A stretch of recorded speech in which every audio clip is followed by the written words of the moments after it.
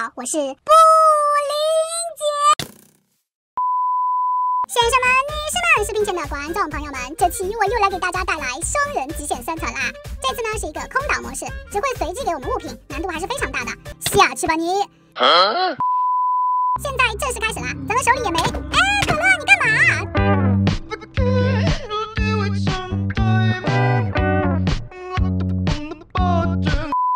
为什么不给我方块啊？这个刷怪蛋是什么？我去，这么大一只僵尸！不过它不会攻击我哎。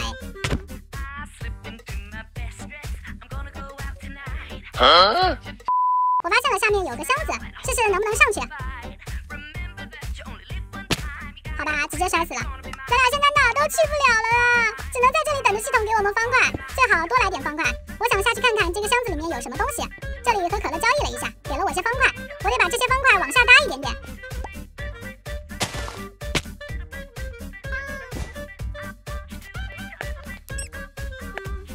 然后去下面那个箱子上面，这样我就离箱子又近了一格。不要小瞧这一格，可能因此我就不会摔死了。接下来就看我的操作了。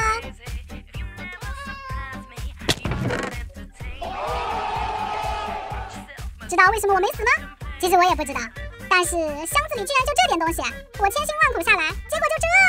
咱们用刚才拿到的土块来拓展一下地面。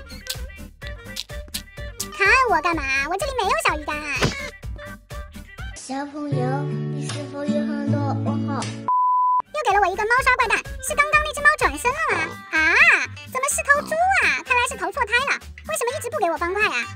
太难了我。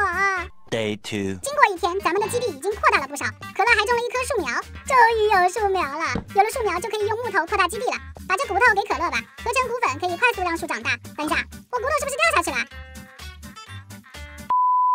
有条缝，这算了，再等等吧。Two thousand years later. 经过了不知道多少天，咱们的基地已经比之前稍微大了那么一点点，而且这棵树也成功的长大了，不过是用骨粉喂大的。至于为什么没有过程，因为我忘记开录制了。那么本期的视频就到这里结束了，我是和可乐过不去的布灵布灵姐，我们下期再见，拜了个拜。